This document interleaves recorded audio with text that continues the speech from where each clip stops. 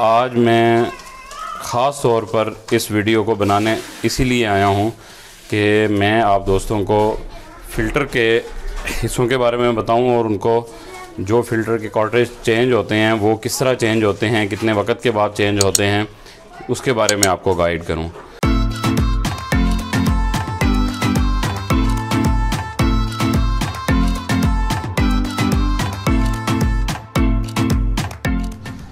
असलम दोस्तों, मैं हूँ वकास अकमल, सर्वोटेक से, और आप हमारा चैनल सर्वोटेक देख रहे हैं। और आप लोगों ने हमारे चैनल को बहुत ज़्यादा पसंद किया, इसलिए मैं सब दोस्तों का शुक्रिया अदा करता हूँ। और उम्मीद करता हूँ कि आइंदा भी आप हमारी आने वाली वीडियोस को इसी तरह ही पसंद करते रहेंगे। और जैसा कि आप जानते हैं कि हम टेक्नोलॉजी की वीडियोस बनाते हैं, सोलर की वीडियोस बनाते हैं, उसके अलावा आर प्लांट की हमने वीडियो बनाई, जो दोस्तों ने बहुत ज़्यादा पसंद की और बहुत दोस्तों ने फरमाइश की कि आर प्लांट के फ़िल्टर्स वगैरह चेंज करने का टाइम और फ़िल्टर्स वगैरह चेंज करने का तरीक़ाकार हमें समझा दें। तो आज मैं ख़ास तौर पर इस वीडियो को बनाने इसीलिए आया हूँ कि मैं आप दोस्तों को फ़िल्टर के हिस्सों के बारे में बताऊँ और उनको जो फ़िल्टर के कॉर्ट्रेज चेंज होते हैं, वो किस तरह चेंज होते हैं, कितने वक्त के बाद चेंज होते हैं उसके बारे में आपको गाइड करूँ। तो सबसे पहले कैसे पता चलता है कि फ़िल्टर का क्वार्टरेज चेंज करने का वक्त आ गया है? तो जब आप पानी इस्तेमाल करते हैं तो आपको पता चलता है कि पानी का जायका चेंज होना शुरू हो जाता है। अगर आपके पास टीडीएस मीटर है, ये TDS मीटर होता है, मेरे पास शाओमी कंपनी का है तो ये टी मीटर जो है TDS का मतलब होता है टोटल डिज़ोल्व सॉल्वेंट्स तो आए, ये देखें, ये इस तरह पेन की शक्ल का होता है, इस पर ये स्क्रीन है और ये बटन लगा हुआ है, इस बटन को दबाएँगे तो ये ऑन हो जाएगा, लेकिन ये ज़ीरो वैल्यू देगा। अब हमने ये सादा पानी लिया है तो इसमें ये डाल के देखेंगे।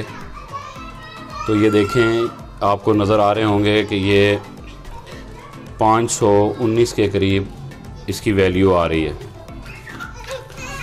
तो अब हम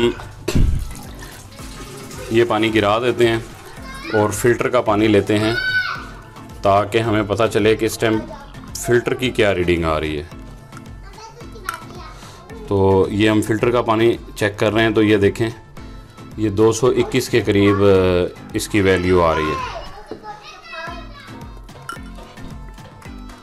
तो अब हम इसकी वैल्यू को बेहतर करने के लिए इसके फ़िल्टर चेंज करेंगे।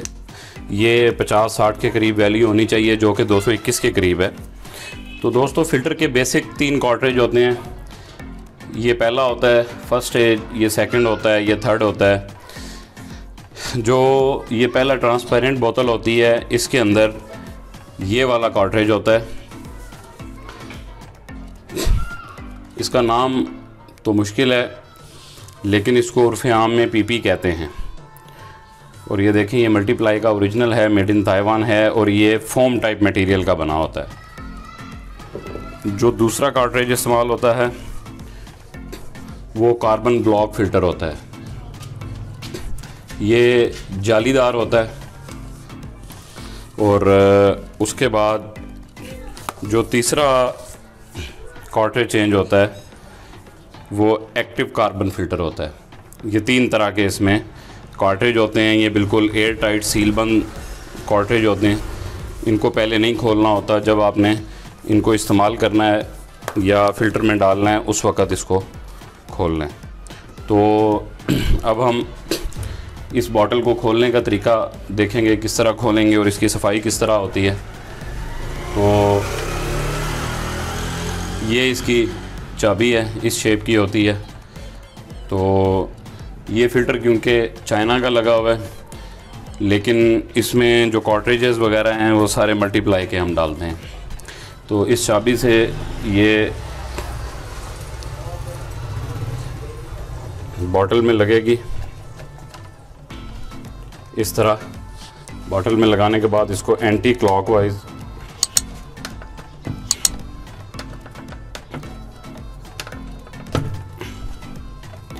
ये देखें। एंटी क्लॉकवाइज हमने घुमाया है तो ये बाटल खुल गई। इसको आहिस्ता आहिस्ता हम ये हमने बॉटल खोल ली। इसमें से पानी हमने गिरा दिया। तो ये बॉटल अंदर से गंदी है तो हम इसको धोएँगे और स्केलिंग की वजह से, ये देखें फ़िल्टर का कलर चेंज हो चुका हुआ है। जो ओरिजिनल कलर आता है ओरिजिनल जब हम नया फ़िल्टर डालते हैं तो ये देखें ये कितना फ़र्क है इसमें। वो सफ़ेद रंग का होता है और ये देखें ये बिल्कुल जर्द हो चुका है, मट्टी और पार्टिकल से भरा हुआ है। तो ये हम फ़िल्टर निकाल देंगे। इसी तरह हम अगली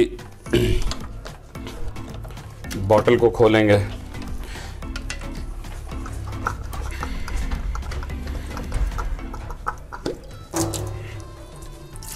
इसका भी पानी गिरा देंगे।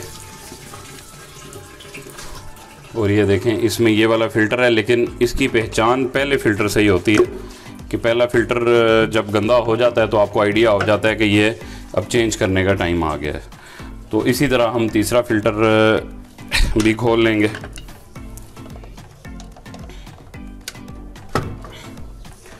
लेकिन उसको खोलने से पहले हम बॉटल्स को धो लेंगे। तो बॉटल्स को धोने के बाद मैं आपसे मिलता हूँ। जी दोस्तों तो हमने ये बोतलें धो ली हैं अच्छी तरह। तो अब ये सबसे लास्ट वाली बोतल है तो ये देखें, जब आप इसको खोलेंगे तो बाज़ का ये सील होती है, जो इसको वाटर प्रूफ कर रही होती है पानी लीकेज से रोकने के लिए, ये अंदर होती है। बाज़ का ये निकल जाती है, इसका ख्याल रखना है आपने।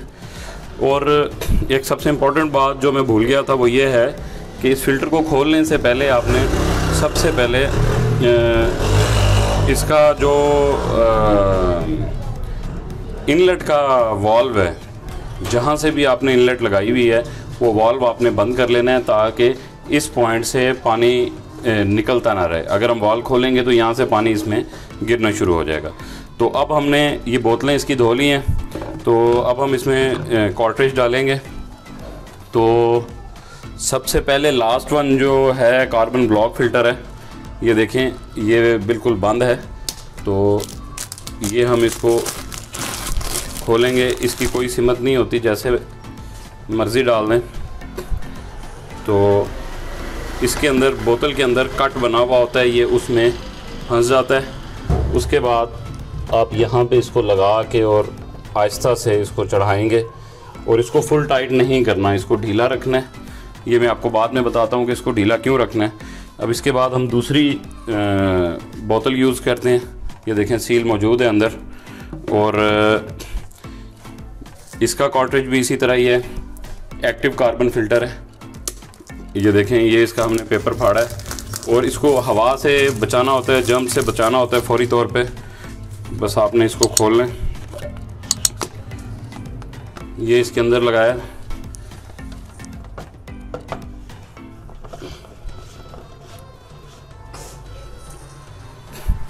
उसके बाद जो हमारी ट्रांसपेरेंट बॉटल है, जिसका ये फ़िल्टर था और ये इतना गंदा हो चुका था तो अब हम उसमें फ्रेश फ़िल्टर डालेंगे। ये देखें। ये sediment carbon carter sediment cartridge कहते हैं इसे, लेकिन आम ज़ुबान में इसे पीपी भी कह देते हैं। तो इसको फाड़ेंगे फाड़ कर ये इसमें लगा के और एहतियात से। ये देखें, ये अब सही नहीं लगा, इसकी एडजस्टमेंट अब इसको तो उसको, उसके लिए फिर ये होगा कि हम इसको कोशिश करेंगे कि ऊपर वाली जगह पे थोड़ा सा एडजस्ट करके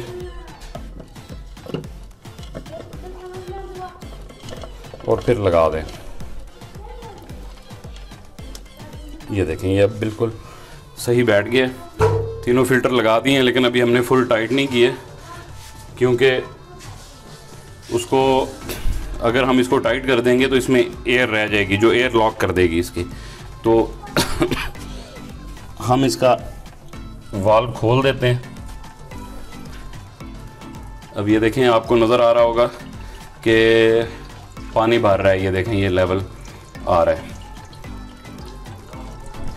तो हम पानी भरने देंगे, इसका वेट करेंगे। जब आखिरी वाले फ़िल्टर से पानी निकलना शुरू होगा, थोड़ी देर उस पानी को निकलने देंगे ताकि एयर सारी निकल जाए। उसके बाद सबसे पहले लास्ट वाला टाइट करेंगे, फिर दरमियान वाला और फिर फ़र्स्ट वाला। तो इस तरह ये हमारे फ़िल्टर चेंज हो जाएँगे। और जिस तरह हमने दिखाया था आपको कि 221 के करीब हमारे टीडीएस थे तो उसकी वजह से पानी का जायका जो है, वो भी बिल्कुल नॉर्मल सा हो गया था, उतना कसैला नहीं था तो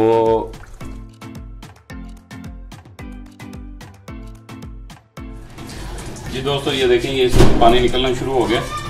तो अब हम ये पहली कॉटरेज जो है, इसको टाइट कर देंगे। उसके बाद ये दूसरी कॉटरेज को पहले हाथ से टाइट करेंगे। उसके बाद चाबी के साथ इसी तरह तीसरी कॉटरेज को भी हम टाइट कर देंगे ताकि इसका लीक जो है वो अच्छे तरीके से बंद हो जाए। ये देखें दोस्तों, इसकी लीकेज बंद हो चुकी है और हमारे फिल्टर्स चेंज हो चुके हैं। अब हम इसको पावर ऑन कर देंगे।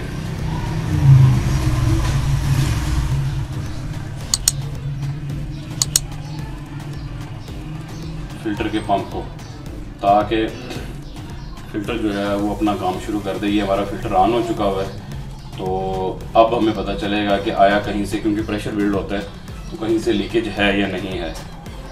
लेकिन कहीं से लीकेज नहीं है। तीनों बॉटल से पानी नहीं टिपक रहा। तो बस ये तरीका था इसके पानी को चेक करने का।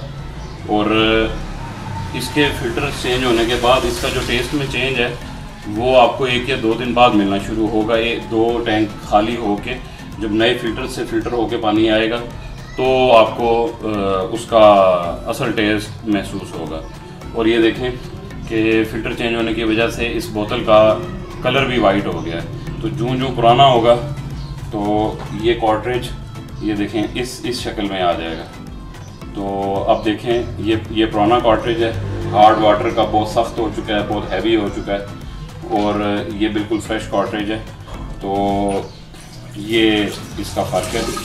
तो दोस्तों, इसके हवाले से किसी किस्म की मालूम चाहिए हो, आप हमसे रबता कर सकते हैं। हमारे नंबर जो हैं, वो ऊपर आ रहे हैं। और उसके अलावा फ़िल्टर लेने के हवाले से, बड़े फ़िल्टर्स के हवाले से या या सोलर के हवाले से या U P S stabilisers voltage regulator किसी भी पावर प्रोडक्ट के हवाले से आपको कोई भी किसी किस्म की मालूम चाहिए हो, मशवरा चाहिए हो, या कहीं पे इंस्टॉल करवाना हो पूरे पाकिस्तान में तो हम इसकी सर्विस पूरे पाकिस्तान में देते हैं।